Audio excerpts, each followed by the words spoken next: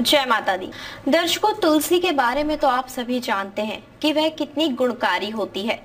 जिस प्रकार से वह घर के आँगन में रहकर पूरे परिवार की रक्षा करती है, उसी प्रकार से वह बीमारों की भी रक्षा करती है और एक औषधि के रूप में इस्तेमाल की जाती है। ठीक उसी प्रकार से उसको टोटके में भी इस्तेमाल किया जाता है ताकि आपका मन प्रसन्न हो जाए और आपका खोया हुआ प्यार आपको हासिल हो जाए। क्योंकि खोए हुए प्यार को हासिल कर लेना इतना आसान नहीं होता।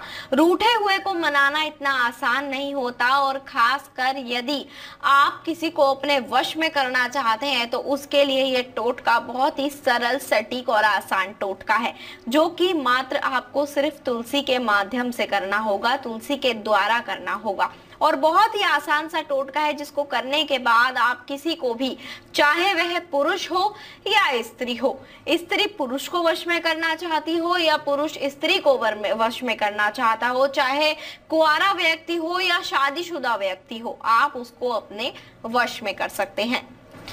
आपको करना क्या है? आपको आवश्यकता होगी मात्र दो तुलसी के पत्तों की। आपको उन दोनों तुलसी के पत्तों पर एक पर अपना नाम लिखना है और दूसरे पर जिसको आप चाहते हैं, जिसको प्राप्त करना चाहते हैं, जिसको वश में करना चाहते हैं, उसका नाम लिखना है।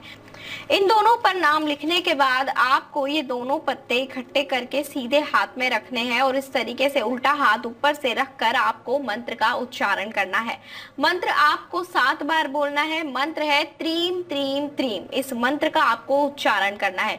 ध्यान रखिएगा कि मंगलवार और शनिवार के दिन आपको ये उपाय करना है। शाम के समय करना है और साथ ही उस दिन आपको नॉनवेज बिल्कुल नहीं खाना है।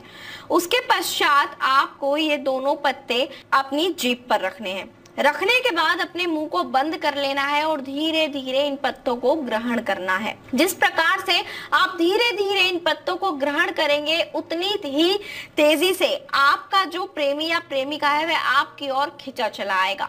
यकीन मानिए, उपाय किया हुआ है और बहुत ही फलदायी साबित हुआ है, लाभकारी साबित हुआ है। मात्र एक घंटे अंदर वह व्यक्ति आपको ज़रूर कॉल करेगा, जिसको आप वश में करना चाहते हैं। और 24 घंटे के अंदर तो वह आपकी ओर दौड़ा चला आएगा। आप यकीन नहीं कर पाएँगे कि कितना सटीक वशीकरण का ये उपाय है, जो आपके लिए लाभकारी साबित हुआ है।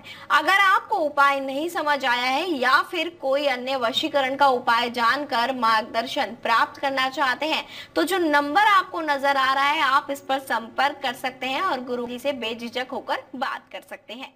જય માતાજી